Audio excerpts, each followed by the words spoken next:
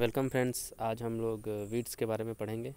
इस, है ना, इससे कितना लॉस होता है और क्या क्या बेनिफिट्स हैं इसके बारे में, है ना? फ़र्स्ट देखते हैं वीड्स के बारे में, है ना? First person to use the term weed is Jethro Tull पहला पर्सन कौन है? जो टर्म यूज़ किया था वीड का, वो है Jethro Tull the term weed is defined as a weed is a plant growing where it is not wanted weed वहाँ, जहाँ पे वीड वहीं पे ग्रो करता है, जहाँ जो इसका ज़रूरत नहीं रहता है। ठीक है, एक डेफिनेशन है इसका। Weed is an unwanted plant इसका ज़रूरत नहीं रहता अनवांटेड रहता है। A plant with negative value है ना? इसका जनरली नेगेटिव वैल्यू रहता है। A plant interferes with intended use of land है ना? मतलब लैंड का अगर यूज़ करते हैं तो उसमें इंटरफियर करता है।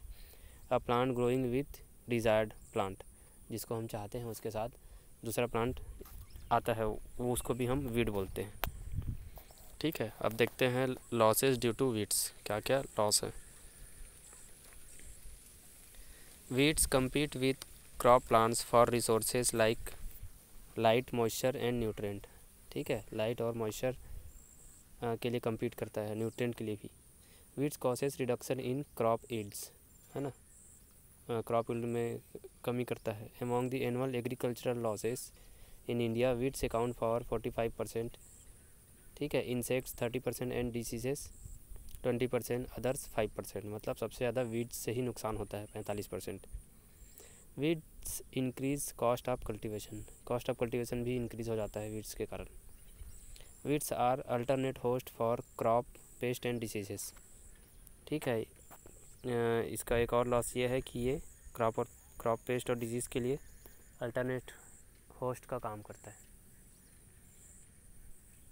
आ, देखते हैं इसमें देखो जैसे राइस में स्टेम बोरर के लिए अल्टरनेट होस्ट है इकाइनोक्लोवा स्पीसीज फिर ग्राउंड नट में स्टेम रॉड के लिए है स्टेम रॉड के लिए है पार्थेनियम ठीक है केस्टर के लिए है हेरी कैटरपिलर क्रोटोलरिया ठीक है केस्टर में हेरी कैटरपिलर का जो अल्टरनेट होस्ट है वो है क्रोटोलरिया फिर है रेड ग्राम। रेड ग्राम में ग्राम कटर प्लेयर का है एमरेंथस और धतुरा।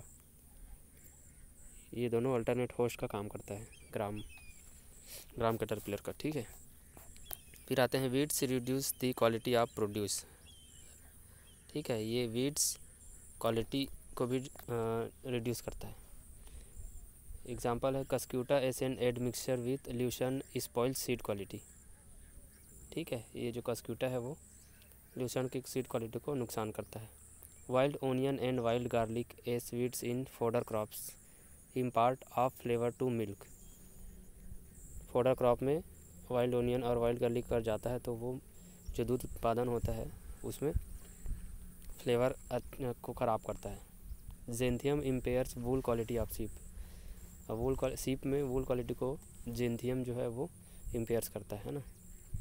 Weeds causes human health problems human में भी काफ़ी नुकसान करता है विट्स जैसे कि allergy by parthenium hysterophorus allergy होता होता है ना पार्थेनियम से.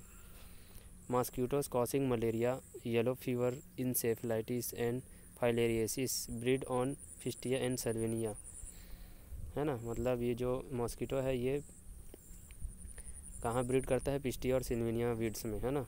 जो येलो फीवर और इंसेफ्लाइटिस और फैलिरेसिस करता है ना ह्यूमन बींग्स में। Hay fever and asthma caused by franseria species है ना, इस वीट से फ्रेंसेरिया से फीवर और अस्थमा भी होता है। ठीक है तो ये ह्यूमंस में काफ़ी नुकसान करता है। ठीक है। डर्मेटाइटिस कॉज्ड बाई एम्ब्रोसिया देखो डर्मेटाइटिस होता है एम्ब्रोसिया से। Helenium itching and inflammation itching करता है है ना इन्फ्लेमेशन भी। और inflammation cause by hair of urtica species urtica species होता है, ठीक है? Which cause animal health problem भी करता है। एनिमल हेल्थ में कैसे? Lantana camara induces hyper sensitivity to light ठीक है? लेंटेना जो है वो हाइपर सेंसिटिविटी क्रिएट करता है ना लाइट के प्रति एनिमल में। Rhododendron species causes diarrhoea and blood strains in milk है ना? रोडोडेंड्रॉन क्या करता है? ये डायरिया करता है और ब्लड स्टेन करता है है ना, मिल्क में। Sorghum halepense poisonous to cattle है ना सॉर्गम हेलीपेंस भी पॉइजनस रहता है केटल के लिए। Problems of water contamination weeds के कारण वाटर में भी कंटेमिनेशन होता है, जैसे रेंडर ड्रिंकिंग वाटर अनफिट ठीक है? ड्रिंकिंग वाटर को अनफिट करता है। Reduces flow of water in irrigation channels flow of water को भी रिड्यूस करता है है ना, जैसे कॉर्निया टाइफा जो है वो, ठीक है? फिर आते हैं reduction in land value due to cyperus rotundus and cynodon dactylon है ना? लैंड वैल्यू को डिक्रीज करता है साइप्रस और साइनेडॉन एलेलोपैथी इफ़ेक्ट करता है, जैसे harmful effect of plant due to release of phytochemicals on other plants root exudates है ना? एलोपैथी इफ़ेक्ट करता है वीट्स जिसमें वो हाइड क्या करता है? इसमें एक फाइटोकेमिकल रिलीज़ करता है जो अदर प्लांट्स के ऊपर अदर प्लांट्स में। जो इसका लिए हार्मफुल इफ़ेक्ट करता है। फिर आते हैं avena fatua affects germination of weeds है ना? जर्मिनेशन ऑफ़ वीड्स को इफ़ेक्ट करता है वीना फेतवा। ठीक है, जो सीड से एक्सुडेट्स होता है उसमें। फिर देखते हैं इस वीड्स का कुछ बेनिफिशियल पार्ट्स भी है है ना? जिसमें कुछ बेनिफिट होते हैं वीड्स से देखते हैं। ये वीड्स जो है वो कांस्टेंट सोर्स होता है न्यू जीन्स के लिए। ठीक है? पहला तो ये है saccharum spontaneum is a wild cane use in breeding breeding breeding में भी यूज़ होता है, कई तो वाइल्ड वीड्स जैसे कि सेकेरम स्पॉन्टेनियम है। फोडर वैल्यू भी रहता है वीड्स का, है ना? फोडर के रूप में यूज़ करते हैं। फिर होता है एस लीफी वेजिटेबल्स है ना? वेजिटेबल के रूप में भी यूज़ करते हैं एमरेंथस है सिलोसिया है इसको। As green manures green manures के रूप में भी यूज़ करते हैं, जैसे टेफ्रोसिया है, ठीक है? फिर आते हैं, है मेडिसिनल वैल्यू भी रहता है विड्स में। मेडिसिनल वैल्यू में देखते हैं, जैसे leucas aspera for snake bite snake अगर सांप काटता है तो उसके लिए ल्यूकास एस्पेरा काम आता है।